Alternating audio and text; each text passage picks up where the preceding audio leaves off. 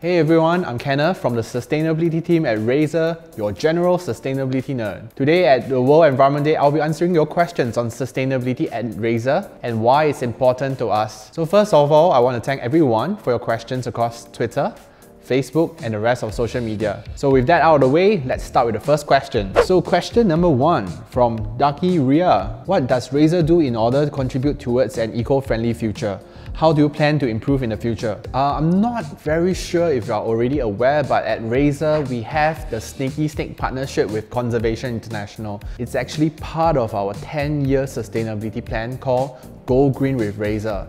Basically, the plan is actually to help preserve nature and do our part to protect the environment. And together with the Razer community, we have helped to protect around 4,000 acres of forest, which is roughly around the size of 3,000 American football fields. And we actually celebrated protecting a million trees just in March, which was just two months ago. So how it works, it's for every Sneki Snek merch sold, Razer will be donating a part of proceeds to support the Conservation International work to protect forests globally. It's really awesome because Sneki Snek just started off as Doodle by one of our designers and here we are, Sneki Snek is helping us create a more sustainable future. And we invite you to join us for the next milestone which is to save 10 million trees globally. Question number two from the Crazy Lim who asks, other than pledging to planting more trees, what other sustainable causes would Razer intend to work towards? Okay, so apart from hitting our million tree safe milestones with Conservation International, we are also the first consumer electronic brands to sign the Deep Sea Mining Moratorium to protect deep sea minerals. As you probably already know, the ocean-scented ecosystem provide major benefits for people and economies around the world. People depend on it for food, for livelihood, income generation, and even climate regulations. But however, the oceans is already impacted by a lot of factors such as climate change, overfishing, pollution, habitat destruction, acidification, and this is why we want to sign a moratorium against deep sea mining as a commitment not to source minerals from deep sea bed or partake in any mining activities. So in addition to this, we want to let you know that we have already announced our Go Green Razer 2030 roadmap last year.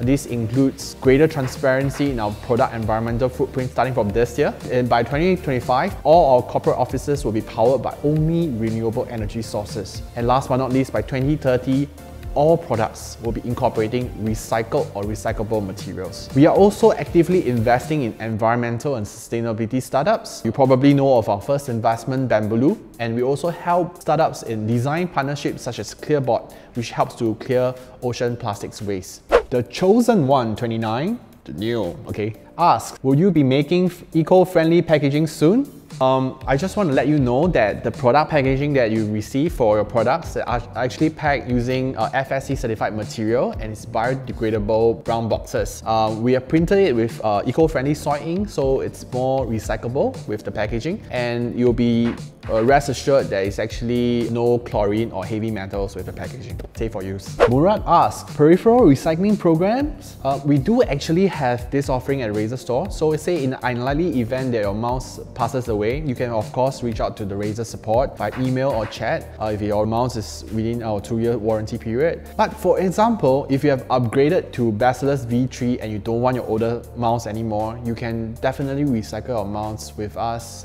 through our Razer Store or our partner recyclers, DNA, where we can repurpose your mounts for extended life in a brand new product. Um, I think recycling really matters because everything is made from something. So pursuing a circular economy, we are respecting all the materials, the labor, and of course the carbon emission that went into producing all these wonderful products. It takes resources to make a brand new product out of brand new material. So ideally, we should always be looking to reuse material from recycled products and one of the first steps that we can do is to make it easier for people to recycle things. That's why we make it available for you to recycle uh, your products at Razer Store. So remember folks, do not throw away our electronics. Please recycle them properly because there are a lot of valuable materials that can be reused and repurposed to a brand new product. Um, Marnik asks, what is Razer doing to contribute to a decrease in the e-waste problem that we have nowadays? I just want to say that it's really awesome to see there's a growing awareness and concern about e-waste amongst the gaming community. So this is why in Razer we have another design principle behind our products for extended lifespan because a longer lifespan means a lower footprint. Uh, so first of all, as part of our sustainability design principle, our products are designed with additional testing procedures and higher quality components to ensure that our products have a longer lifespan. And secondly, with our recycling program, uh, we are working towards resource conservation and a circular economy. Essentially, what we should all aim for is a zero waste approach which closes the loop and promotes a circular economy. Tito Um asks, instead of throwing away products that get faulty, why not sell spare parts to use them longer and make our dear planet Earth less full of trash. Again, this is something we already offer and we're working on to get even better at. For example, our PC gaming division has a product page on Razer.com that lists spare parts and in addition, we are also working on offering refurbished unit to extend the lifespan of pre-loved Razer products. Oh, it's the return of Crazy Lim. Hi again. Uh, Crazy Lim asks, will Razer adopt a trade-in system for old worn products to recycle that will also benefit loyal customers for example, reward point system.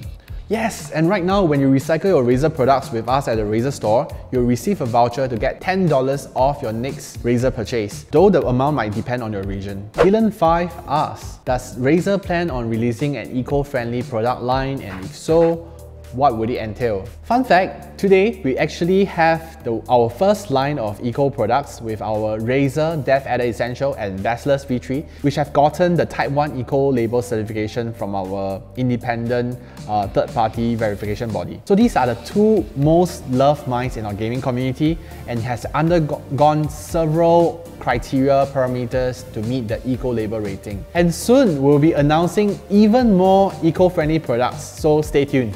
So, alright, that's it. Thank you for your question, everyone. We really appreciate your enthusiasm on sustainability at Razer, and I hope you learned something new. So, happy World Environment Day!